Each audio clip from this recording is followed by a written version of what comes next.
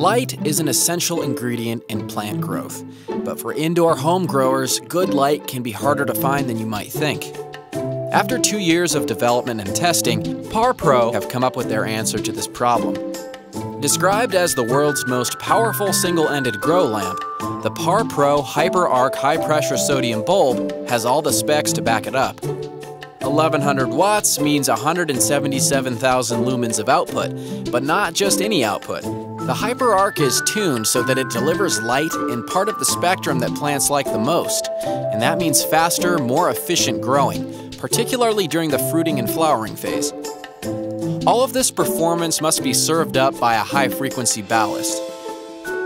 If you don't want to compromise on light, Par Pro's HyperArc is well worth the investment.